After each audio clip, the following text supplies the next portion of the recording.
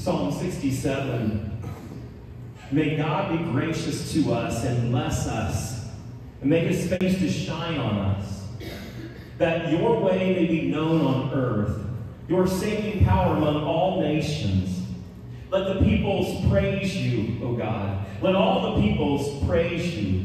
Let the nations be glad and sing for joy, for you judge the peoples with equity and guide the nations upon earth.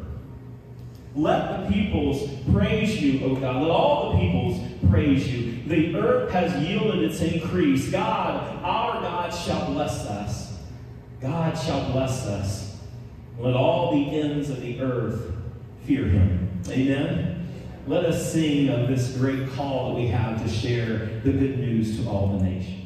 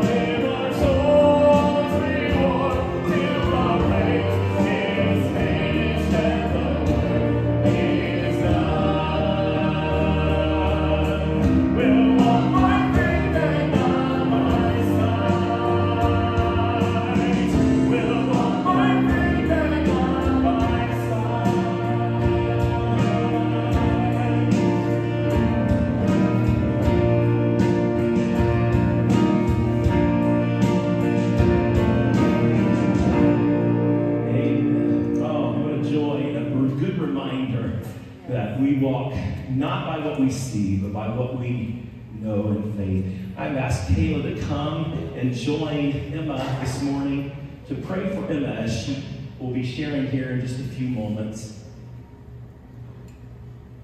Let's pray together.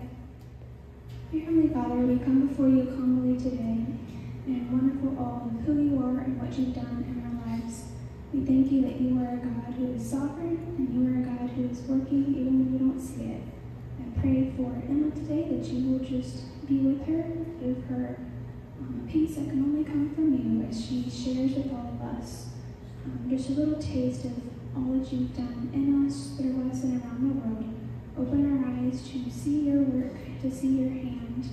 Help us to be thankful for all that you've done. Help us to leave here more on fire for you with um, a greater desire to go out wherever we are, whether it be around the world, work, or just with friends and family, to let our lives be a living sacrifice for you and let our lives continue to proclaim who you are and what we say and what we do.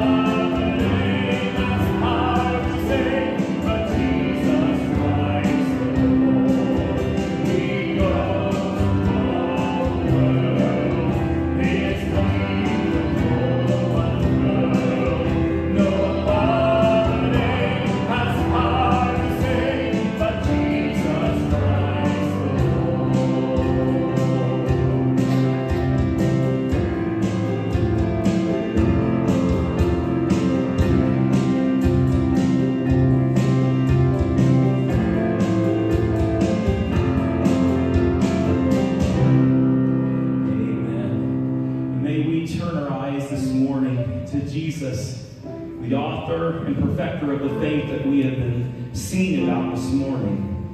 Let's keep our eyes focused on Him and giving Him the glory with everything that we do. Turn your eyes upon Jesus. Look for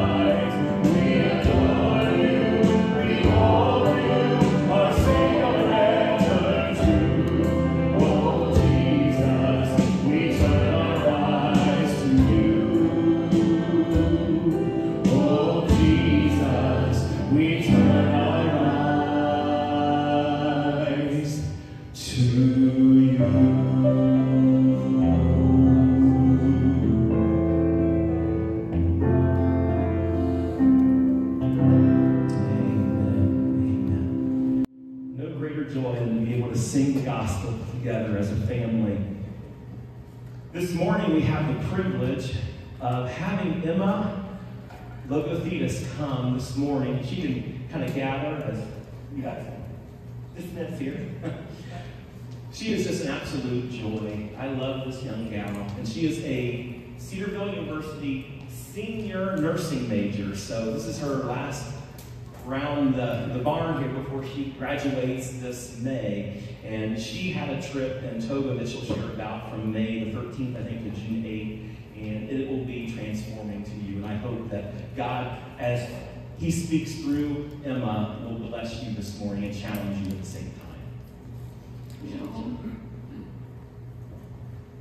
Well, good morning, everybody. I am so glad to be able to be here this morning to share with you some of what God has done in my life and talking about Togo with you. So it's going to be really good. Um, we had some technical difficulties this morning, but it's really amazing how God just strings all these things together despite what the adversary would want for us. The Lord is going to prevail over all those things. So, to start off, again, thank you. My name is Emma. And the best way to tell you about Togo is to share the whole story. So much of what God has done in my life has impacted the trip I was able to take to Togo this summer. My hope in sharing what He has done in my life with you is that you would truly be encouraged in your walk with Jesus, whether it seems like He is leading you through a pasture or a valley right now, our shepherd always prepares the way. So let's start off with where it all began. Telling you about Togo means sharing my testimony, so let's start from the beginning. First off, I'm adopted. The process of my adoption began long before I was born. My story begins as far back as you want it to reach. Before it was me, it was my mom and dad's story. It was the story of whomever my biological mother and father are. It is God's story. I am one of 13 girls who were adopted in China on November 11th in 2003. And we like to celebrate November 11th, calling it our Gotcha Day, celebrating and marking the day that our parents got us. In the map you see, the province highlighted in red is where I am from, um, I came from an orphanage in Shanghai City in the Jiangxi province, and I was brought to the adoption agency in Nanchang by train. And all this took place, again, in the red over there. Geographically, I have a general idea of where I'm from. As for biological parents, though, I have very little information on that. What I do know, though, is that my biological mom, my birth mom, decided to keep me as best she could until she put me up for adoption. And that was a very real choice that she had to make. The reality of my adoption is that I was rescued from a lot of bad and was given a chance at life. Here, I am personally cared for. I'm safe, I'm free. My physical, emotional, mental, and spiritual needs are attended to over and over again. China would not be a place for a girl with no parents to grow up in, and I think of this all the time. Right off the bat, if my biological mother chose to abort me, I would not be.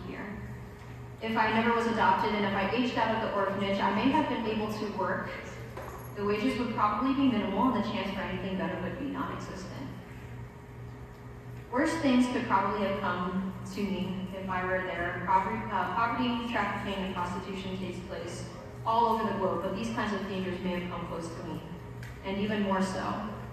I would not have been able to come to know Christ in the same way and with the same freedom. Here I was given a chance to really experience life with Christ. In focusing on adoption, I think there are a lot of comparisons to the heart of missions, and I believe that the heart of missions is something we can all share however God calls us to it. Adoption is a kind of rescue. First off, the child doesn't know that he or she needs help. The child cannot provide for themselves. They cannot protect themselves. The child cannot be saved. The child needs rescue. And what is the purpose of missions? Missions brings the gospel, the good news that Jesus died for us and defeated death on the cross and rose again to people who need to be rescued. It is an invitation to enter into the kingdom of God as sons and daughters of our Lord. So I would like to introduce you to some very important people in my life. This is Jim and Lori, my mom and dad.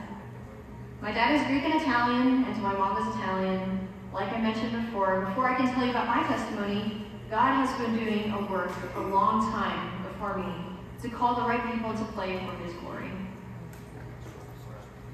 So here's some more pictures. That's me and my dad. That's the baby mugshot that they took of me before I got over here. And Matthew over there on the right side, obviously squeezing me to death out of love. So what do you get when you get a Greek and Italian family to adopt a Chinese baby and then raise them in New Jersey? That's easy. You get an adopted Chinese, Greek, Italian Jersey kid. And if I never looked in a mirror, I would probably tell you that I look European, and one day I would be known as a Nonna, or rather an Italian grandma. And living in New Jersey is a survival skill. The roads aren't safe, the people are crazy, but I love my home in New Jersey. So growing up, growing up I went to church. I went to a Christian school have parents who really love the Lord. A love for the mission started in first grade when my teacher would read missionary stories to us throughout the year. The story of Adoniram Judson was one of the first missionary stories I heard, and many more were to follow through the years growing up. When I was about seven years old, I really made the decision to put my trust in Jesus as best as I knew how as a seven-year-old could comprehend. The next year, though, when I was about eight and in third grade, my mom got cancer. Kids starting started to be really mean in school, and my world seemed to really turn upside down. I turned into a sleep-deprived, emotionally hurt, and anxious person. I was upset when the kids were mean. I did not understand things like why my mom was losing her hair. Everyone seemed tense for a while. My mom got better after chemotherapy, but the kids got worse. From then on, I struggled with being constantly defensive and angry for the way that I was treated. I thought only if I could be liked, or if I just had one friend, I could be so much happier. So eventually, from middle school to high school, I changed schools, and with the change of school, there was a change of heart, but not without good reason. God knew the new school would be good for me in many ways. I quickly gained a friend group I was enjoying class for the most part. My family was healthy. But man, all that didn't make my heart feel any fuller. With this change of schools, my dad, my dad started to leave Ligonier Table Talk books for me in my room. And if you know what Table Talk is, it's a subscription of daily devotionals for the month. I started to pick them up, and Jesus started working on my heart. I began to walk with Jesus, and as he promises, he came closer to me as I drew closer to him. At the dinner table one night, I was shaking because I knew it was time to be baptized. So I stopped my mom and dad after we ate, and I said, I want to do this. I want to be baptized. Jesus is good. And a few later, years later, the hunt for colleges began. I had a really thick binder with all these college, uh, all this college mail that I got, but once I visited Cedarville, I knew it was the place that God was directing me towards. So Cedarville has been on my radar for a long time, actually. While I was a kid, I had family who was attending. I had two cousins. My cousin Jack, who you see there next to me, uh, was studying there for his undergraduate in pre-med. He was studying to become a general surgeon so he could serve the Lord as a missionary overseas. While Jack was at Cedarville, I was still a little kid. In the morning when my mom and I would go to school, we would pray for Jack's exams and for his rotations. At this one and only college visit to Cedarville, we took the opportunity to see Jack and his family off to language school, since they were not too far off from campus. At the college visit in 2020, we said our goodbyes for the next several years because we would not see each other. And goodbyes are always hard that way. I was set on Cedarville to pursue pre-med, and Jack was set on language school in Switzerland to learn French with his family. My freshman year of college, Jack and his family had completed language school and were busy settling into their new home in Togo, Africa. A change of plans. In Proverbs 16, verse 9, it says, In their hearts, humans plan their course, but the Lord establishes their steps. So, freshman year of college, I thought so many things. I was going to pursue pre med and become a doctor or surgeon like my cousin. I would search for places uh, and become a missionary. It is what I wanted to do since high school, so what could go wrong with that? Well, a lot could go wrong. So Cedarville, yay, I made it there at least. I quickly found out, though, that I am not a person who is cut out to do pre-med or go to med school. I hate chemistry, sorry for all of you who are wired that way. I wasn't doing well in that class, so I'm really bad at math. And going to school for over a decade of your life didn't sound like fun when it came time to evaluate what I was actually getting myself into. Realizing pre-med was not for me was God working. So freshman year, while moving into the dorm, right across from my room was Michaela, and down the hallway was Jennifer. Michaela was the exact person I needed for this season in life. God gave her a sensitive spirit to listen and really see me for who I was at a crossroads. We talked about nursing, and I sensed that God was instead guiding me down a different medical path. Michaela was the first person at Cedarville to pray with me about the decision to change majors. And now I have the privilege of trotting along with her and Jennifer for life. And here I am with you today, not as a pre-med student, rather a nursing student. That freshman year, I wrote a response paper for Dr. Miller's Old Testament class. It was in response to reading the book of Ecclesiastes, which is pretty relevant since Pastor Jason just started, uh, or just went through Ecclesiastes with us. And I would like to share this response with you today.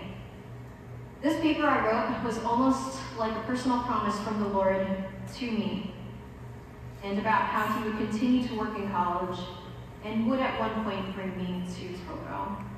So I'm going to share that with you today. The older I grow, the more I have experienced the effects of the curse. I see how little and insufficient I am. I know I have a need for Jesus. We are waiting, we are hoping, we are praying. When will the earth be removed from the shadow of the sun and be illuminated by the glory of our God? When will our bodies no longer be ravished by the pain of sin? When will we be able to bend our knees in the throne room of our God? There has been a whisper in my spirit, and the gentleness of his power has spread over me. It has become a daily message. I cannot escape it, and it will never leave me. That whisper has become cry and the burden of my soul. The whisper says, everything. I have a God that demands my everything. I have a parched soul that is burning for a closer relationship and restoration. Jesus poured out his everything for me, so what is holding me back from letting him drain every ounce of life that is in me for his glory? Nothing. Yet are we waiting with spiritually idle hands? Are we hoping but bracing ourselves for a blow that will only make us fall deeper into the arms of Jesus? Are we praying with fists full of sin? Do we shake those fists at God when He answers differently than we asked? Are we worrying too much to let Him take care of us?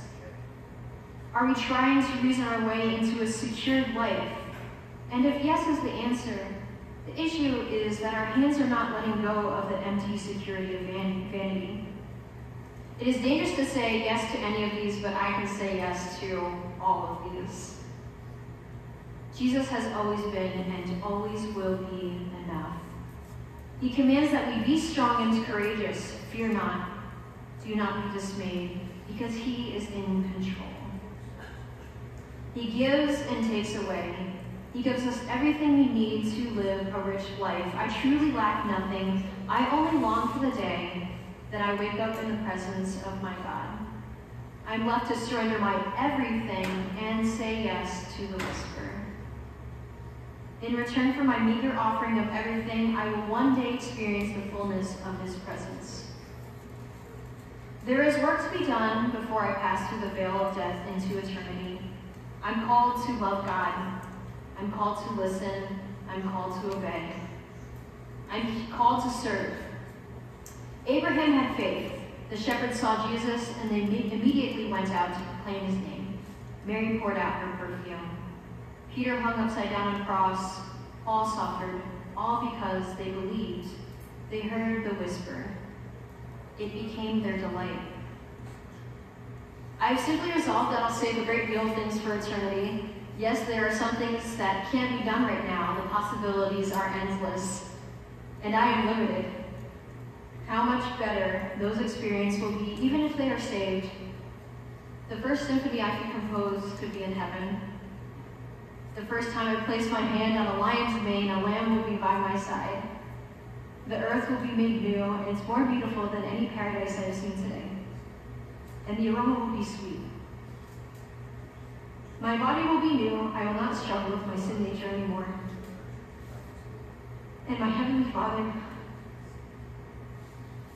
will be waiting with, for me with open arms. And the price was already paid. Until then, there's so much to delight in. I'm excited for the morning that I get to wake up in Africa.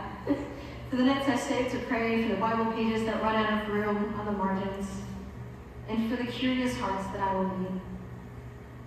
I'm excited to see the fingerprints of God. Through it all, I want to be consumed by the fire of the Spirit.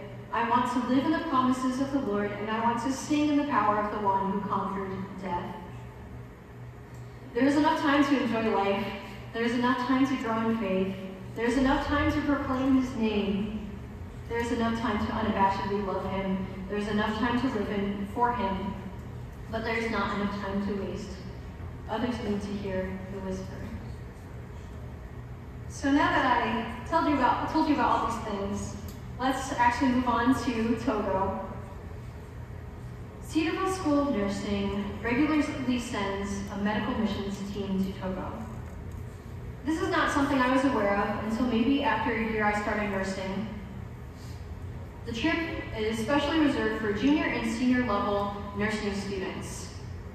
And this place is actually the exact location where my cousin Jack had settled with his family.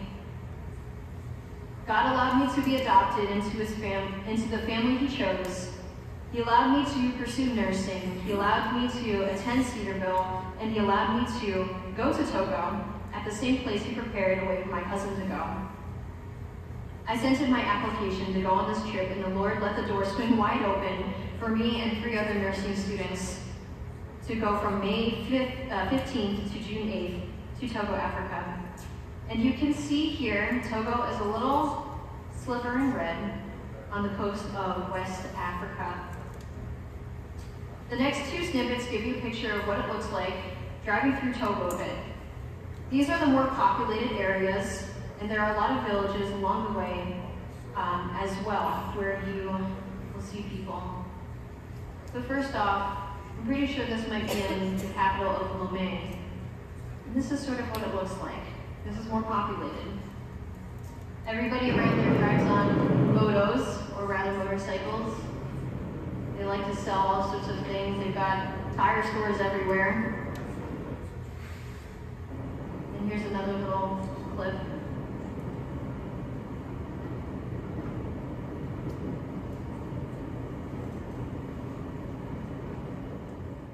So this is our team.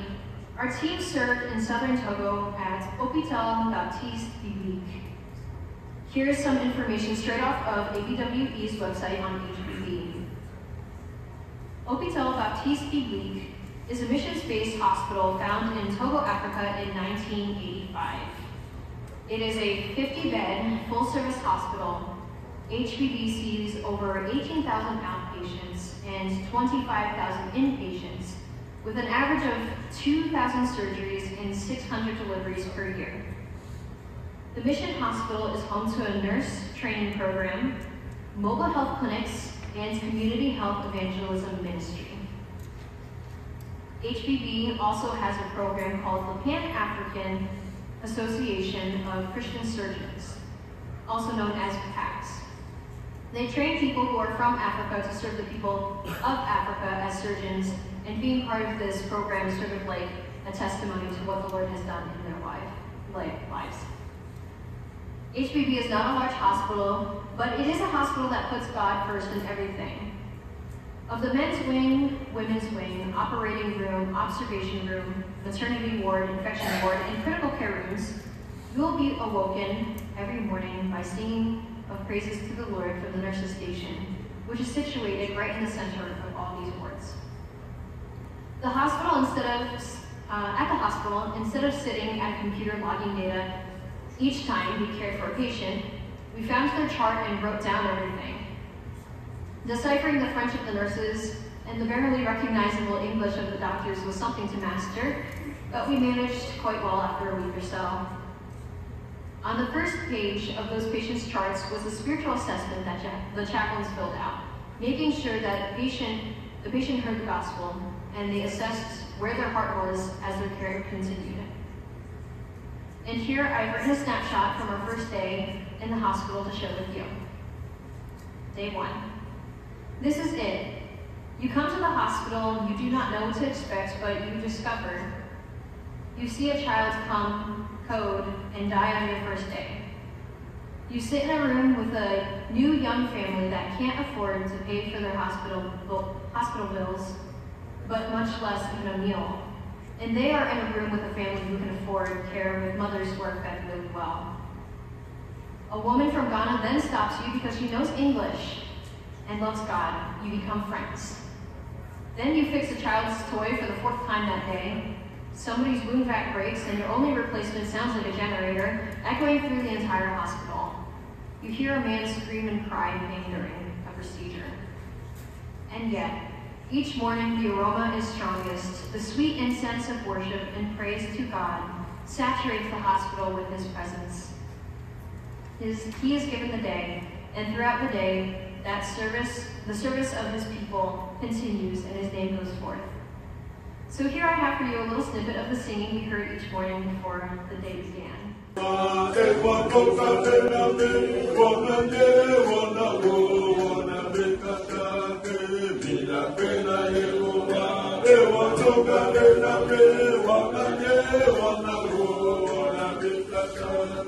Hallelujah.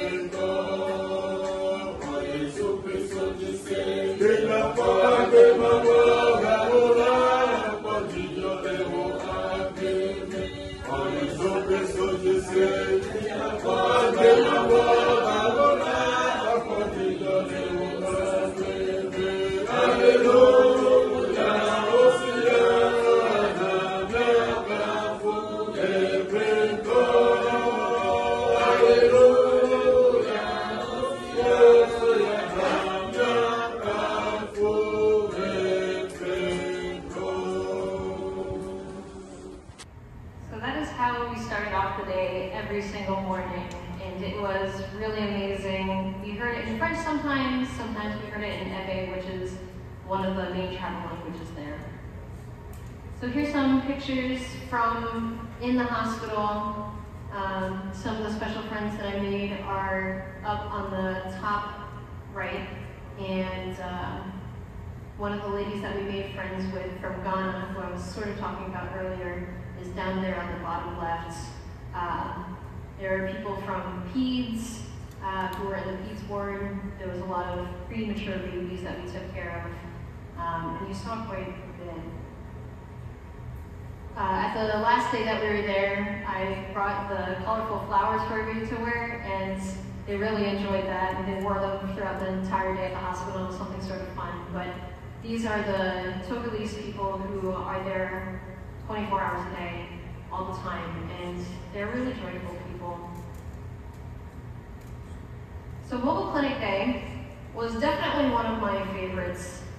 In Africa, there's a really great need for basic screening. One way the hospital is able to share the gospel and to serve people is by hosting these uh, mobile clinics. In this mobile clinic that we were a part of, the team of missionaries loaded up three vans with pharmaceutical supplies, medical equipment, and some toys and Bible materials. And we were set out for our hour and a half bumpy ride up to one of the villages. And by the way, uh, there are very few traffic laws, so if you hit a chicken or a goat on the road with your car or your motorcycle, that is free dinner. So, fortunately, that didn't happen in any of our travels. But we made it safely to the village of Longqui, where we shared uh, screened over 100 people for diabetes and hypertension. Many of the villagers were also able to meet with some of the medical team to be referred to the hospital for further care. The chaplains shared the gospel, and some of the other team educated the people on the disease processes that we were focusing on. In between our screening, there was also plenty of time to play with the children, and we had some people who made the decision to follow Christ that day. Another favorite moment was listening to the chaplains at the long-term care Rafa House, which I don't have pictures of. But one chaplain would preach in French Another would translate into Ewe, and the rest of the chaplains listened or would occasionally interject into the message. What made this encounter even more personal was our ability to hear it all translated into English from our fellow nursing, senior, and friend Noah, who had learned French as a missionary kid in Togo.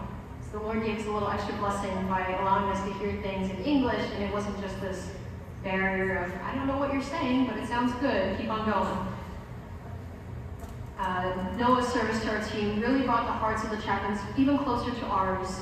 And while listening to the chaplains preach, it really felt like we were surrounded by fierce lions who were bearing witness to the one lion of Judah, who is our precious Christ. So let's also talk about churches. Um, there's some more pictures here. Churches in Togo range from brand new and underdeveloped to very well established. In the three Sundays that I was there, I went to the least developed church, a church that had been established and was still growing, and a very well established church. My cousin Jack and I had one Sunday where we went to church together, and this was one of the newest churches we were visiting. These are still from Mobile Clinic, but just so you can see. Um, the church we went to was almost two hours away by car. The roads were terrible. And I sat in the back of the car, and I'm pretty sure that I was in the air for half of the trip because of how bad it was. But we went up a giant mountain to the village. At any church, it's really hot because it's Africa.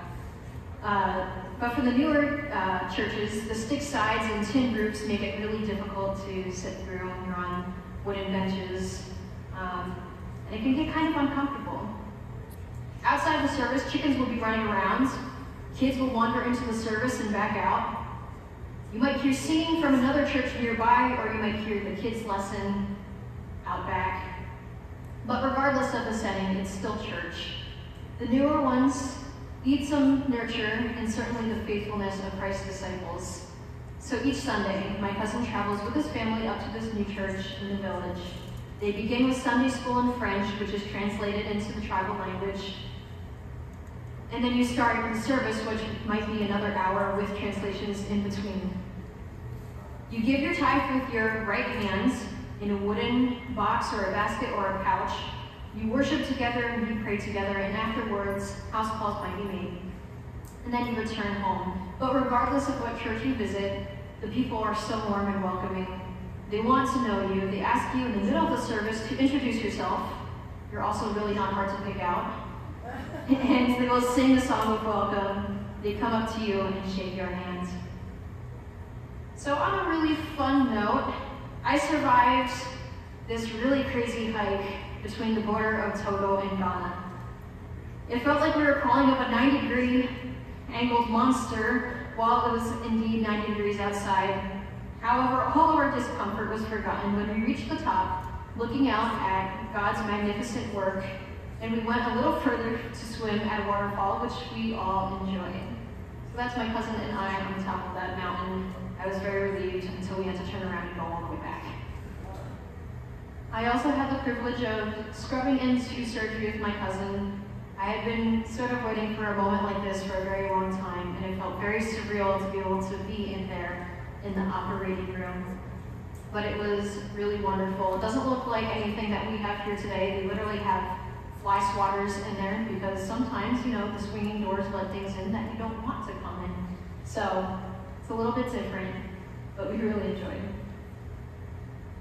I also got to spend some time with family because I hadn't seen them for quite a few years at this point. The kids got really big. They showed me all of their pets, including safe pythons, um, some chameleons, and other things that were just crawling around outside, thankfully, of the house, but still contained.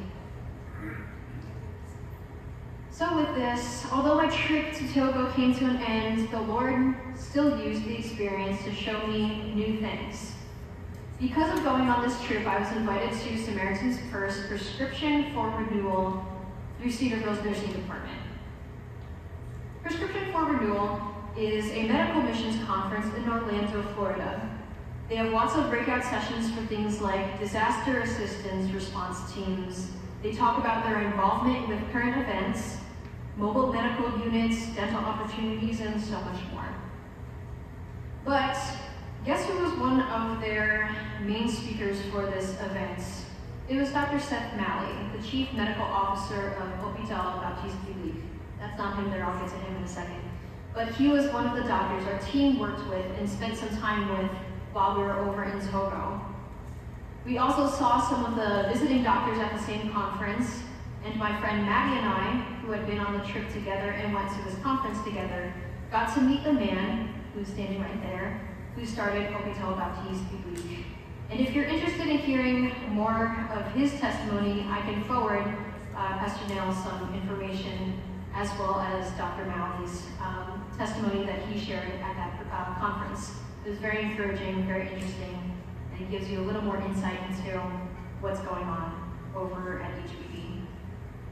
So meeting Dr. Bob Cropsey was very special. We didn't expect to see him there, but we did.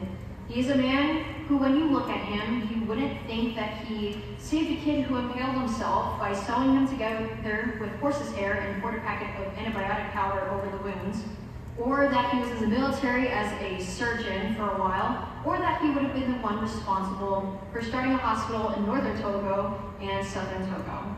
So meeting him was indeed a. Last, our nursing group also had the opportunity to meet and listen to Dr. David Jeremiah. If you're familiar with him, he was once president of Cedarville University, and he uh, uh, still very busy now elsewhere in the world serving the Lord. So, after sharing with you my adventures in growing up and my adventures in Togo, I would like to end with a quote and some scripture. This quote really is a combination of two different things that I found over the years but they seem to go together really well. You can read the quote on the screen, which says, Life takes us to unexpected places, love brings us home. So let my love be sincere, and let my service be fearless, O Lord. Life does take us to unexpected places, but what brings us home? Maybe home here is broken, but home with our Father is perfect. We know love by seeing and knowing our Lord.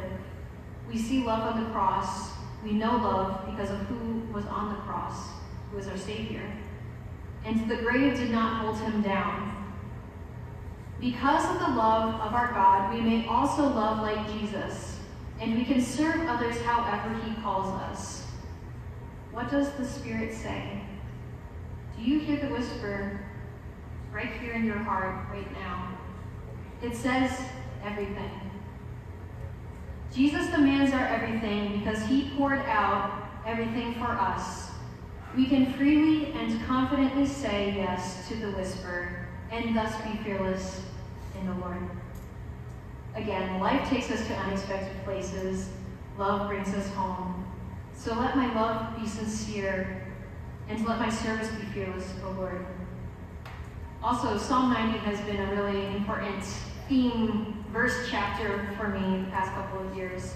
Uh, if you picked up one of the copies of uh, just some of the tidbits that I had for today, I have verses 12 on, but I'll share Psalm 90 with you right now. Lord, you have been our dwelling place in all generations.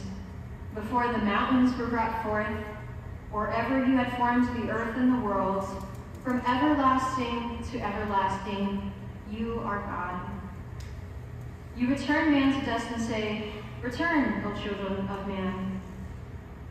For a thousand years in your sight are but as yesterday when it is past, or as a watch in the night. You sweep them away as with a flood. They are like a dream. Like grass that is renewed in the morning. In the morning it flourishes and is renewed. In the evening it fades and withers. For we are brought to an end by your anger. By your wrath we are dismayed. You have set our iniquities before you, our secret sins in the light of your presence. For all our days pass away under your wrath. We bring our years to an end like a sigh. The years of our life are 70, or even by years, uh, or even by reason of strength, 80. Yet their span is but toil and trouble, and we are they're soon gone, and we fly away. Who considers the power of your anger and your wrath according to the fear of you? So teach us to number our days, that we may gain a heart of wisdom. Return, O Lord, how long? Satisfy us in the morning with your steadfast love, that we may rejoice and be glad all our days. Make us glad for as many days as you have afflicted us, and for as many years as we have seen evil. Let the work of your hand be shown to your servants, and your glorious power to their children. Let the favor of the Lord our God be upon us and establish the work of our hands upon us. Yes, establish the work of our hands. There is enough time to enjoy life. There is enough time to grow in faith. There's enough time to proclaim his name. There's enough time to unabashedly love him. There is enough time to live for him. There's not enough time to waste. Others need to hear the whisper. So thank you guys for your support, your prayers, and your time today. If you have any questions, I'd be happy to keep talking about Togo, Africa, and Jesus. So, if you have any questions, open. Yes. Yes, I, I've seen on VOM that that country, Togo, is Mm. rated as hostile.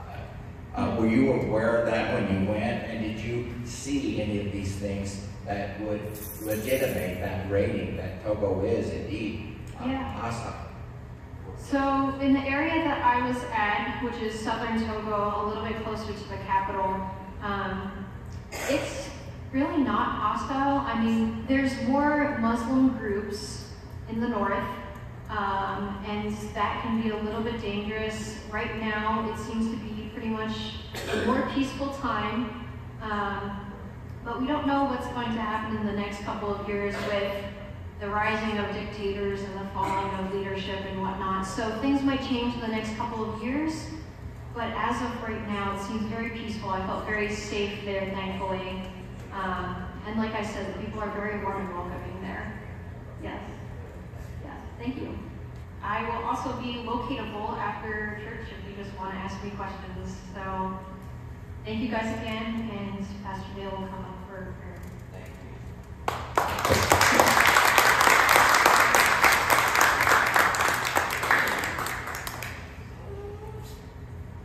Emma is a gifted, as you have just experienced, just a gifted speaker.